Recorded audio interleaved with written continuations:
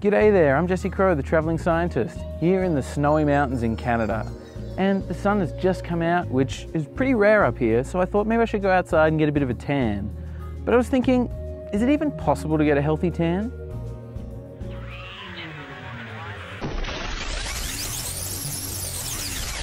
So you want to look nice and brown for some reason. Because generally it's accepted that looking tanned is looking good, right?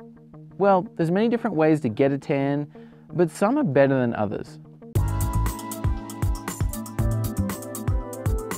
So the first way of getting a tan is to go out and lie in the sun. The ultraviolet radiation in the sunlight actually cooks a chemical in our skin called melanin, similar to a microwave cooking the sausage. Bring on the tan! Yeah! Woohoo! Oh, make me beautiful! I want more!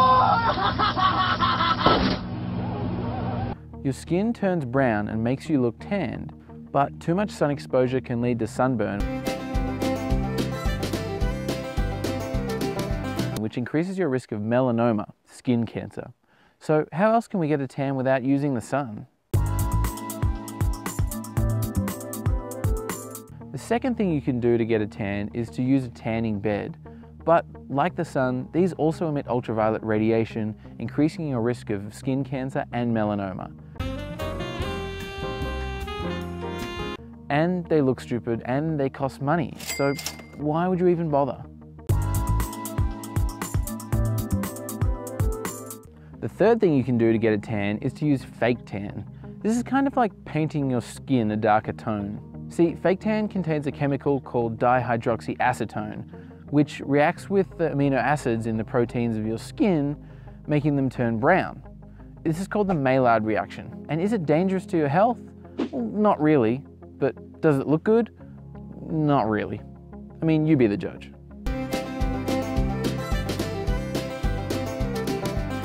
On the upside, you could look like our favorite president.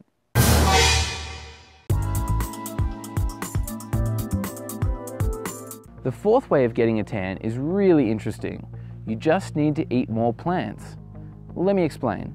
There are a lot of fruits and vegetables that contain high levels of beta carotenes, which give them their red, orange, and brown colors. Coincidentally, if we gorge ourselves on these foods, those pigments are actually incorporated into our skin, giving us a browner skin tone. Now, don't get me wrong, you need to eat a lot of fruits and vegetables, like all day, every day for several weeks for this to take effect. But if you did do that, you would look super tanned and feel super healthy. Not so keen on eating a bunch of fruits and vegetables? Well, there is one more technique that I can recommend. The fifth and final way I would recommend getting a tan is to use tanning pills. That's right, pharmaceutical companies have actually started producing a pill that contains concentrated amounts of beta carotenes and if you take this pill regularly, it should make your skin turn darker. You don't have to go out into the hot sun, you don't have to eat a ridiculous amount of fruits and vegetables, and you don't have to paint your skin. You just need to take this pill regularly. So, is it healthy? Well, the long-term effects of these pills are still a bit of a mystery. And some studies have shown that really high levels of beta carotenes can contribute to cancer. But everything causes cancer nowadays, so don't stress about it.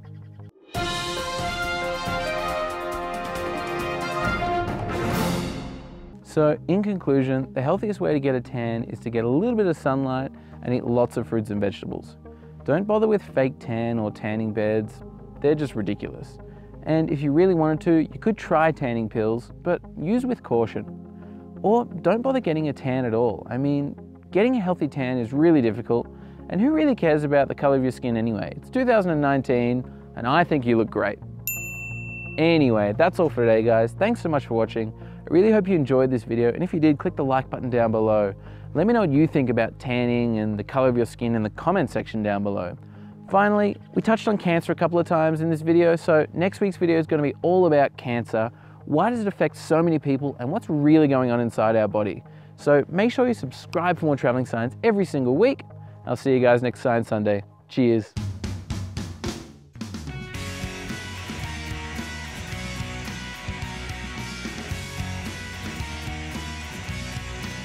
Oh yeah, bro. Yeah. Oh yeah. Oh yeah.